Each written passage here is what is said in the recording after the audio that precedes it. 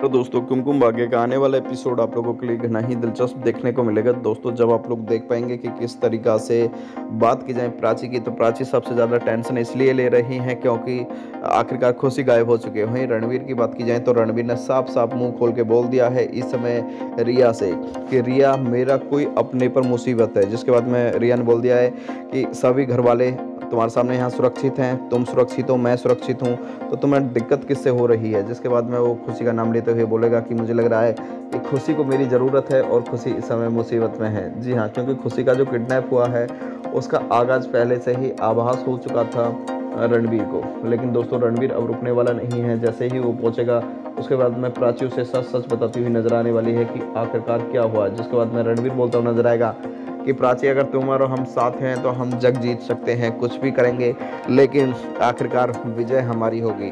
और आप लोग जानते ही हैं कि इस समय रणबीर कितने ज़्यादा खुश नज़र आ रहा है कि प्राची उसका मुसीबत में साथ दे रही हैं। वहीं बात की जाए तो इस समय प्राची और रणबीर एक मुसीबत में और डलने जा रहे हैं, क्योंकि इन लोगों ने सोचा नहीं था, क्योंकि वो लोग, जो कि प्राची और रणबीर को भी चोट पहुँचाने की बहुत बड़ी कोशिश करते हुए नज़र आने वाले हैं।